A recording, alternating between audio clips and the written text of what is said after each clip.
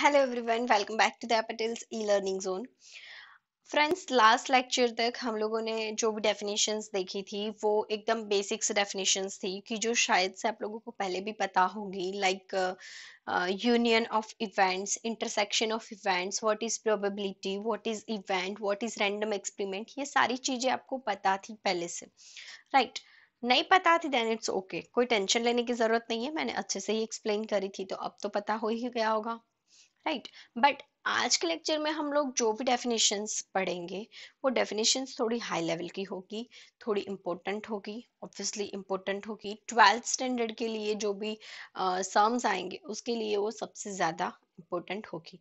In short जो भी हमने पढ़ी थी वो भी इम्पोर्टेंट थी बट वो बेसिक से थी कि जो आप ऑलरेडी पहले से जानते हो ऐसी थी। बट जो आज हम लोग जानेंगे शायद हो सकता है वो भी आपको पता हो। ऐसा नहीं है कि ये भी आपने बिल्कुल सुना ना हो। बट ये मेरे हिसाब से सबसे ज़्यादा इम्पोर्टेंट है। सो so, वीडियो को एंड तक देखना। इसी के ऊपर बहुत सारे सम्स डिपेंडेंट होते हैं। Right right? तो फ़र्स्ट जो डेफिनेशन है वो है mutually exclusive definition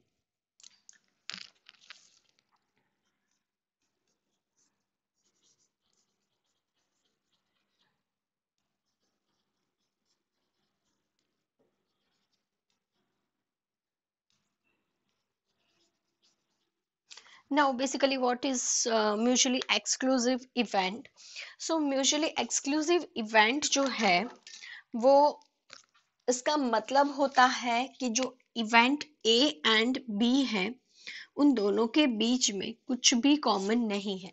आपको याद सिर्फ़ इतना रखना है कि if A and B are the events of definite sample space right अगर कोई डेफिनेट सैंपल स्पेस का ए एंड बी दोनों अगर कोई इवेंट्स है, then if there is nothing common between event a and b then we can say ki the events are events a and b are mutually exclusive event मतलब कि इन दोनों के बीच में कोई भी एलिमेंट्स कॉमन नहीं है इवेंट ए एंड बी इन दोनों के बीच में अगर कोई भी जो है इवेंट्स में से कोई भी एलिमेंट्स कॉमन नहीं है तो हम उसको कहेंगे म्यूचुअली एक्सक्लूसिव अगर उसके वेन डायग्राम की बात करते हैं तो वो कुछ ऐसा होगा.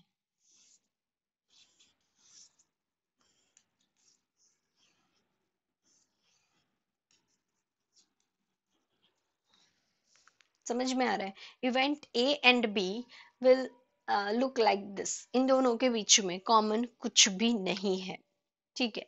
इसके साथ ही एक बहुत ही इंपॉर्टेंट है वो है exhaustive event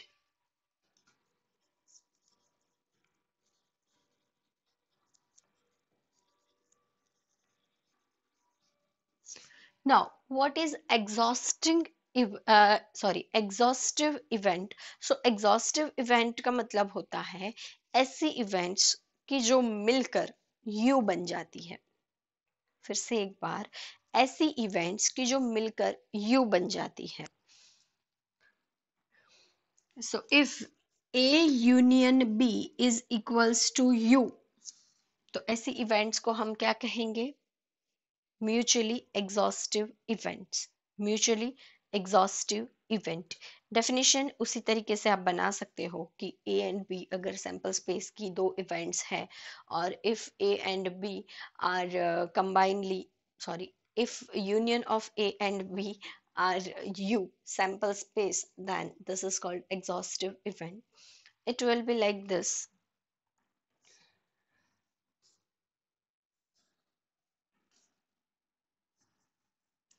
This is event A.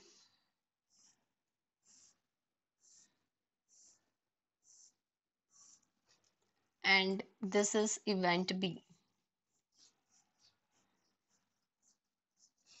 जो भी मैं खड़ी लाइन बना रही हूँ, वो इवेंट बी है और जो भी मैंने हॉरिजॉन्टल लाइन बनाई है, वो इवेंट ए है।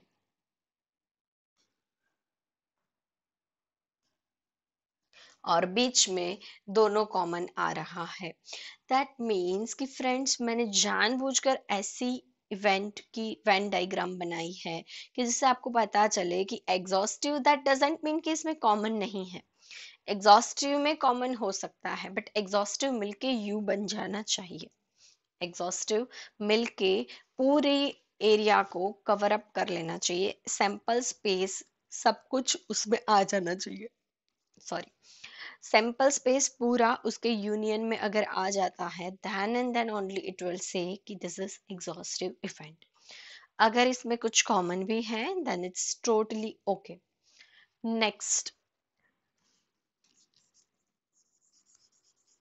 mutually exclusive?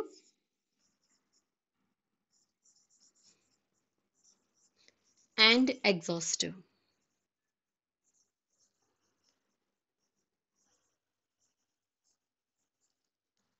Mutually exclusive मतलब कि इन दोनों के बीच में कुछ भी कॉमन भी नहीं है। और ये दोनों मिलकर यू भी बना पा रहे हैं। दोनों कंडीशन अगर सेटिस्फाई होती है then and then only it can be say that कि events are mutually exclusive and exhaustive how exactly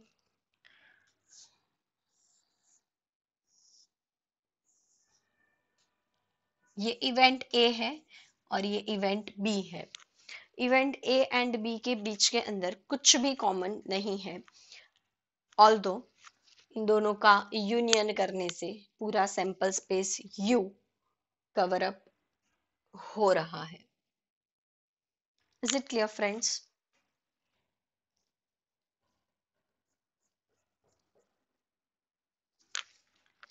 okay समझ में आया? पक्का ये तीन डेफिनेशन समझ में आई? तो मैं आगे बढ़ू। फिर से एक बार बोल रही हूँ। म्यूचुअली एक्सक्लूसिव इवेंट माने तो कैसी इवेंट ऐसी इवेंट के जिन दोनों के बीच में कॉमन कुछ भी नहीं है समझ में आया लाइक like.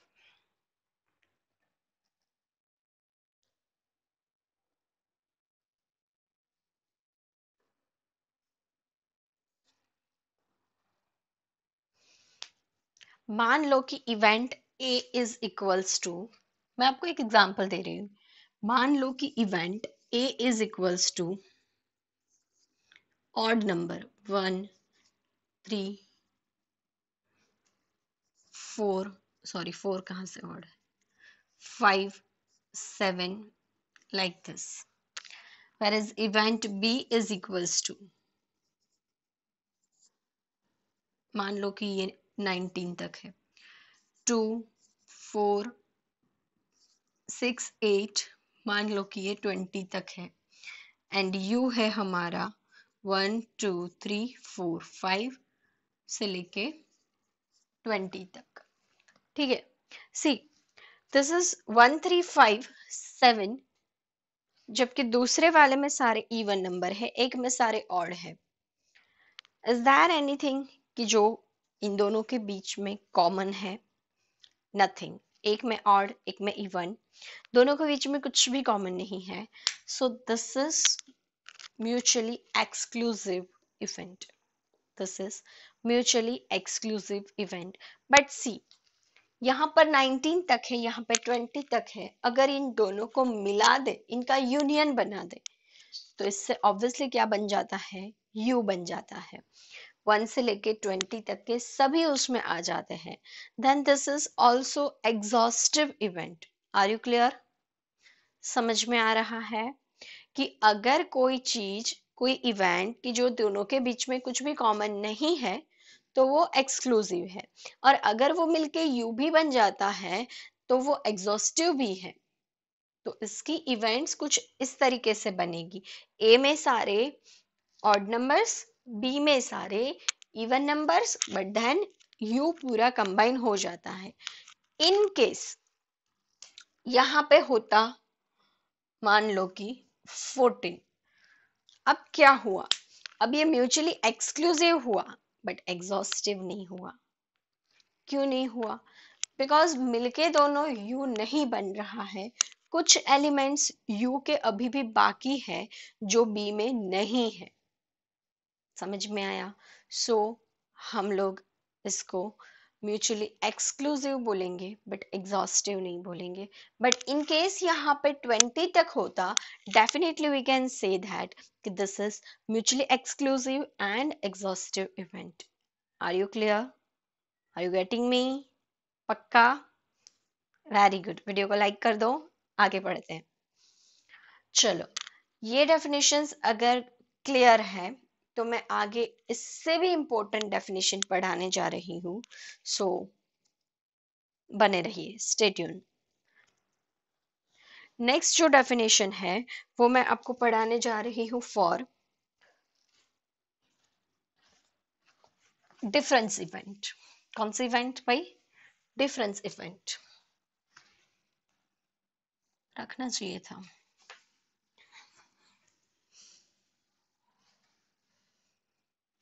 एनीवेज निकाल देती हूँ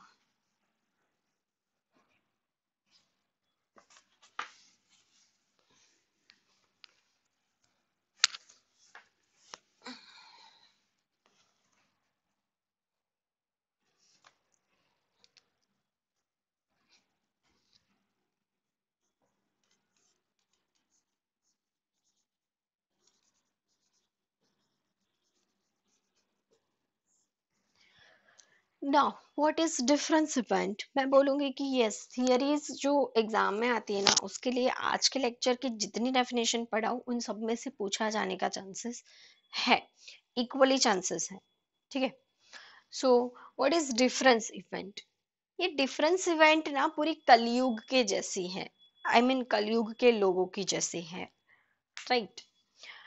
एकदम जहरीली जेलसी मैं ऐसा क्यों कह रही हूँ?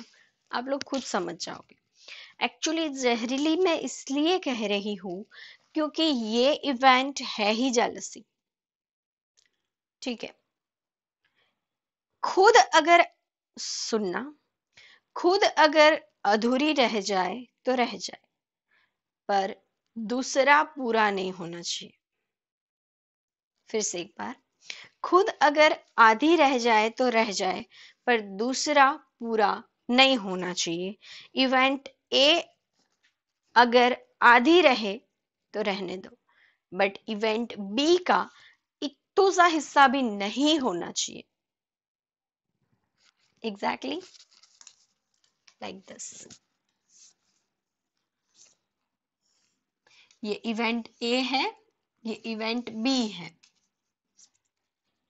तो अगर मैं बोलूँ ए माइनस बी डिफरेंस मतलब तो समझ में आता है ना माइनस होता है। तो अगर मैं बोलू कि A minus B that means event A will occur but event B will not occur anyhow भले फिर ए आधी रह जाए, रहने दो। देखो ए पूरी नहीं हो रही है, मत होए। बट ए माइनस बी का मतलब ही ये है only event A will occur अगर इवेंट बी का एक भी एलिमेंट्स ए के अंदर है तो वो ए माइनस बी में से निकल जाएगा। फॉर्मूला इसका कहते हैं P of A minus P of A intersection B that means कि पूरे ए में से ये जो कॉमन पोर्शन है, वो निकल जाए तो क्या बचेगा? पी ऑफ़ ए समझे? वेरी गुड सेकेंड पी है इसका फॉर्मूला कि P of A minus B मैं बोलू कि देखो, ये सारी कॉमन चीज़ें हमारे पास है। अगर P of A union B है तो उसमें से पूरे बी को माइनस कर दो तो भी चले। समझ रहे हो? कि ये पूरे में से अगर ये बी माइनस हो गया, ये निकल गया तो भी क्या बच जाएगा? ये चाँद बच जाएगा। हमें क्या चाहिए? वही चाँद चाहिए। वही है हमारा इवेंट ए जो जेलसी है। बी पूरा नहीं होना चाहिए। इवेंट ए भले फिर आधी रह जाए। ठीक है। दो टाइप की होती है बेटा इसमें। ए माइनस बी भी होती है। ये है ए माइनस बी वाली। और b माइनस ए भी पॉसिबल है। वो ऐसे होगी।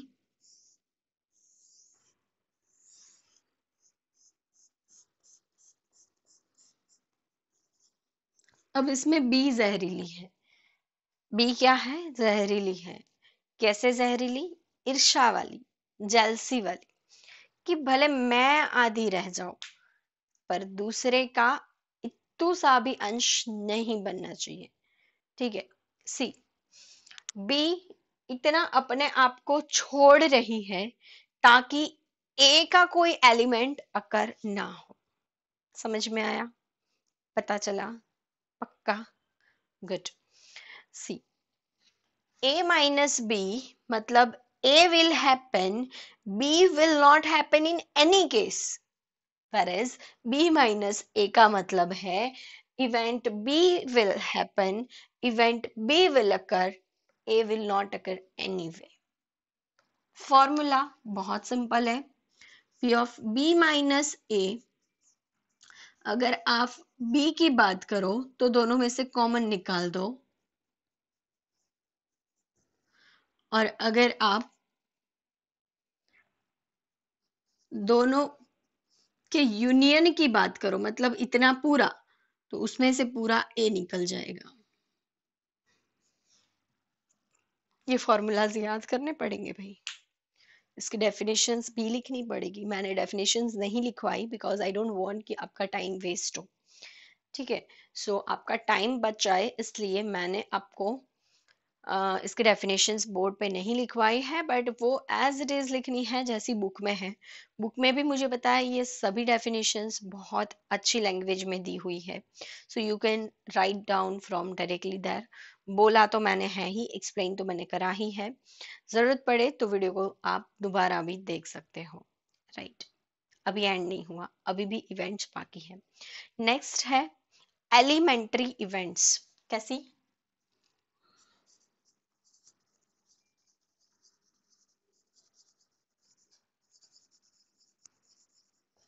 एलिमेंट्री इवेंट्स मतलब अगर मान लो कि सैंपल स्पेस यू है is equals to one two three four five है.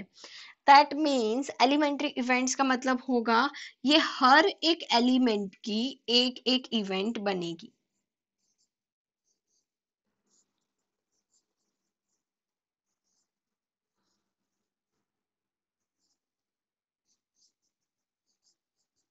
समझे? पता चला।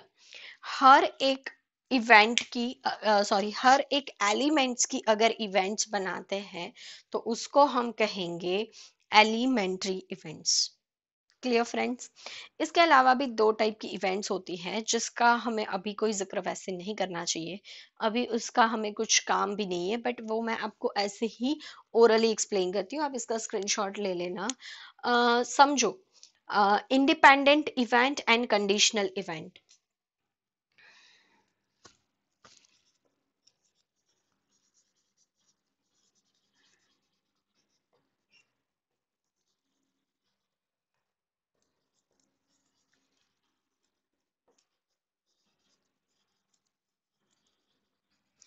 Now, what is independent event? सो इंडिपेंडेंट इवेंट का मतलब होता है ऐसी दो इवेंट्स की जो एक दूसरे के ऊपर डिपेंडेंट नहीं है। एक बनेगी कि नहीं बनेगी, उससे दूसरे को कोई फ़र्क नहीं पड़ता। That is independent event like मैं बोलूँ कि अगर फ़र्स्ट चाइल्ड गर्ल है तो सेकंड चाइल्ड बोल बॉय आएगा या गर्ल आएगी तो दिस इज़ इंडिपेंडेंट इवेंट इसका कोई लेना देना नहीं है फ़र्स्ट इवेंट के अकर होने या ना होने के साथ। समझ रहे हो। दो फैमिली है उसमें एक में गर्ल है और दूसरे में गर्ल है या बॉय है that is totally dependent sorry that is totally independent events right आप फ़र्स्ट uh, कॉइन पे वन आएगा और सेकेंड कॉइन पे सिक्स आएगा। अगर हम ऐसी दो कॉइन कॉइन पे वन एंड सिक्स कैसे आ सकते हैं भाई? डाइस की बात कर रही हूँ। एक डाइस हम सॉरी हम दो डाइस थ्रो कर रहे हैं। एक पे वन आएगा तो दूसरे पे सिक्स आएगा या वन नहीं आएगा या ऐसी कोई भी इवेंट है तो वो दोनों ही इंडिपेंडेंट इवेंट है। दोनों को एक दूसरे के साथ कुछ लेना देना नहीं है। ऐसा ज़रूरी यही है कि एक पे एक आया तो दूसरे पे एक नहीं ही आ सकता। दूसरे पे भी एक आ सकता है। Right so this is like independent event कि जिसको एक दूसरे के साथ कुछ लेना देना नहीं है। ये ऑलरेडी ये डिपेंडेंट है ठीक है? ओके अब बात करते हैं कि conditional event so what is conditional events friends तो कंडीशनल इवेंट्स का मतलब होता है ऐसी इवेंट्स की जिसकी बनने की प्रोबेबिलिटी कोई और इवेंट्स पे है। लाइक like, बादल होंगे तो बारिश आएगी। इधर दो इवेंट है फ़र्स्ट बादल होंगे और सेकंड बारिश आएगी। बादल होंगे तो बारिश आएगी। बारिश आएगी तो road भीगेगे। Right so this is like conditional probability कि जहाँ पे कंडीशन है, अगर ऐसा होगा तो ऐसा होगा। If like this then and then only this will happen so if के बाद जो भी आपका सेंटेंस आएगा, वो हमेशा आपकी कंडीशन होगी। कंडीशनल प्रोबेबिलिटी भी ट्वेल्थ स्टेटिस्टिक्स में बहुत इंपॉर्टेंट रोल प्ले कर प्ले करती है। सो so, हमको उसके बारे में भी पढ़ना पड़ेगा डेफिनेटली लेट्स चेक मी कोई डेफिनेशन छूट रही है या नहीं। एल्स लगभग लगभग इधर मेरे तरफ़ से uh, सारी डेफिनेशन फिनिश हो रही हैं। यस दैट्स इट लगभग ओवर हो गया है। But yes replacement without replacement with replacement ये सब चीज़ें बाकी रही। वो मैं आपको सम के साथ साथ भी पढ़ा सकती उसका भी कोई इश्यू नहीं है। ठीक है? सो so, वो हम बाद में भी देख सकते हैं। आज के लिए फ्रेंड्स इतना रखते हैं। उम्मीद करती हूँ आपको सारी डेफिनेशन समझ में आई होगी। और अगर आई है तो वीडियो को लाइक करना तो बनता है। ठीक है? और यस चैनल को अभी तक सब्सक्राइब नहीं किया तो बोलने की ज़रूरत नहीं है। वो तो ऐसे फॉर्मेलिटी है। आप कर ही दोगे मुझे पता है। सो थैंक्स फॉर वॉचिंग जय हिंद जय भारत।